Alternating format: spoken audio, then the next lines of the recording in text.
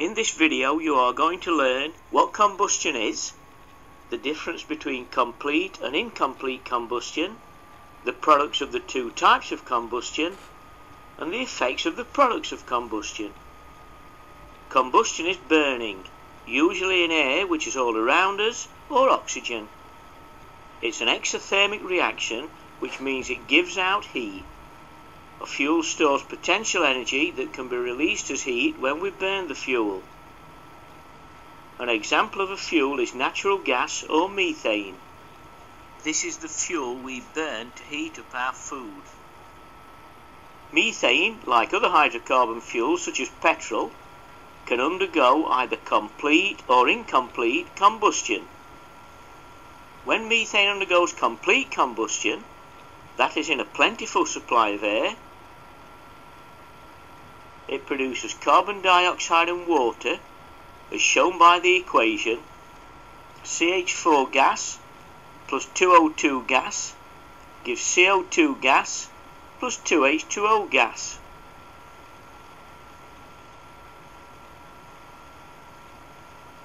When methane undergoes incomplete combustion, that's in a limited supply of air, it produces either carbon monoxide and water or carbon and water is shown by the equations 2CH4 gas plus 3O2 gas gives 2CO gas plus 4H2O gas.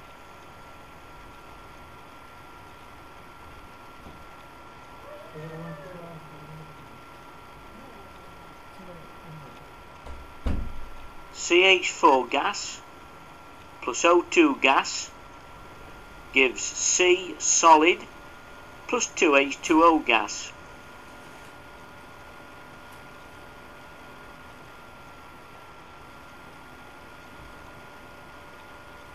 Now the effects of the products of combustion. Water vapour, as we all know, is harmless. Carbon dioxide is a greenhouse gas and contributes to global warming. Carbon monoxide, however, is toxic. It's colourless, odourless, tasteless, and so is called the silent killer. Carbon monoxide is often produced by faulty gas appliances. That's why it's important to have your gas fires and boilers regularly serviced. Unburnt carbon is a particulate and is a pollutant in the air. So, to recap, combustion is burning, usually in air or oxygen. Complete combustion of hydrocarbons produces carbon dioxide and water. Incomplete combustion produces either carbon monoxide and water or carbon and water. And the products of combustion have various effects